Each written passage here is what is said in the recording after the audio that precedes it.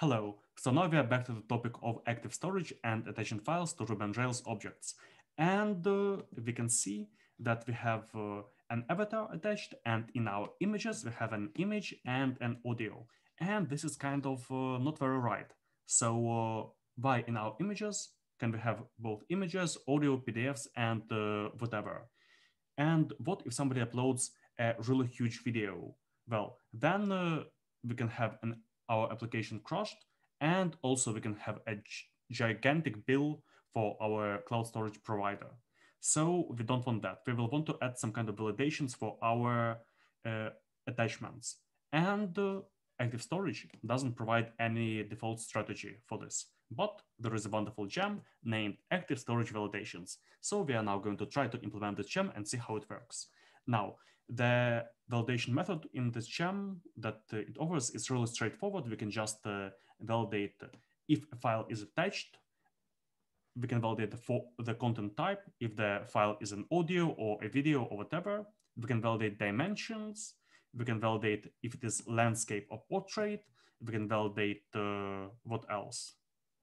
Uh, we can validate the quantity of uh, has many attached. So let's see how it works.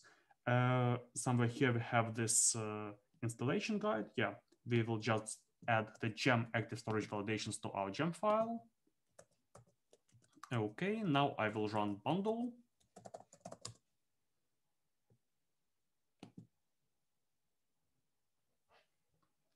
Okay, and now let's add some validations.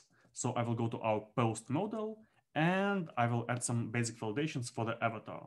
Now, what does it the gem offer us by default. We can validate the presence. So they're not going to say presence true, they're going to say attached true. We have to see if it is attached.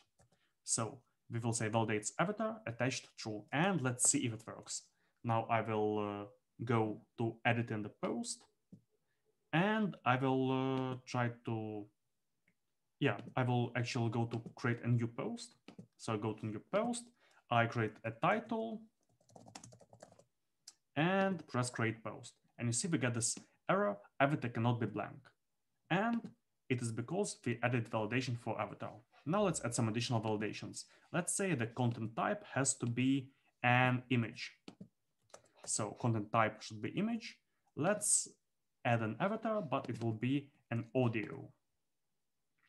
We add it, and you see avatar has incompatible content type looks and works well. Let's add some more validations. Let's say it should be of a defined size. So size should be less than, well, 100 megabytes is definitely a lot, too much for an avatar. Let's say 100 kilobytes.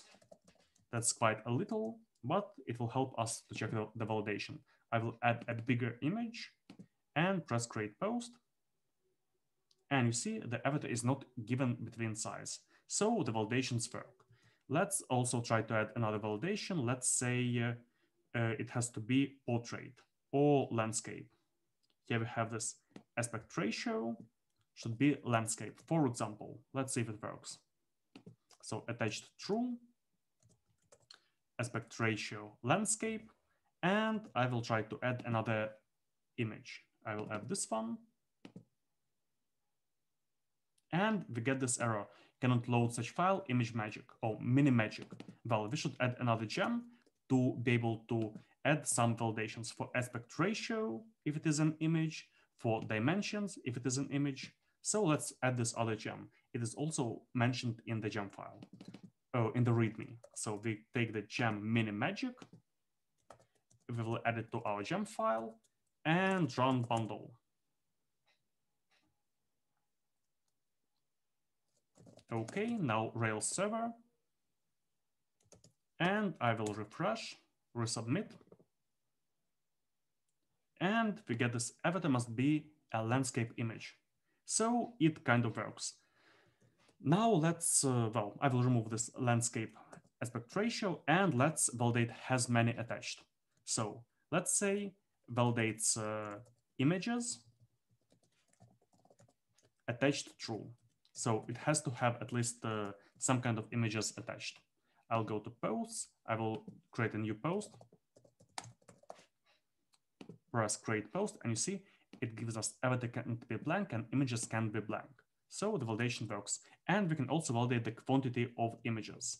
Let's say we will add this. Where is it? We can limit, for example, between one and three.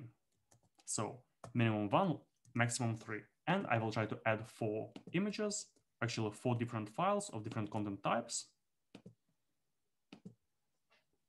So it is loading all the files and already when the files are being processed, it checks the quantity and it says images total number is out of range.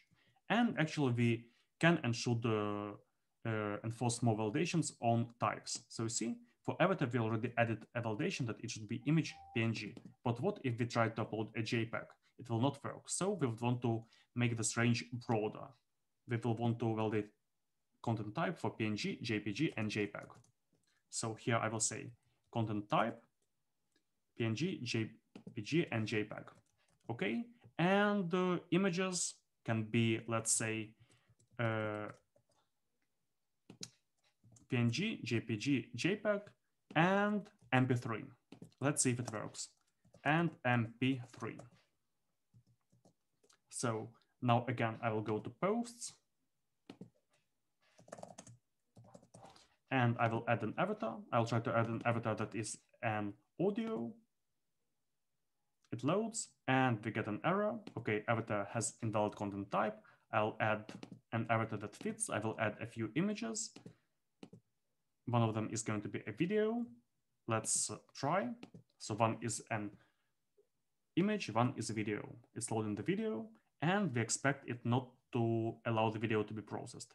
But after the video, we will try to add an MP3. You see, images have an invalid content type. So I will go and add the MP3 and it should work well. So okay, avatar can be blank. Now again, I'm adding an avatar. I'm adding the MP3 and I create content. And yeah, it works. So I managed to add some basic validations using active storage and uh, I encourage you to have a look at the gem itself and it can be interesting for you at some point to validate the size of uh, images. For example, let's try to validate dimensions, uh, minimum and maximum for, for avatar. We haven't done it yet. I wonder if uh, it will work for us.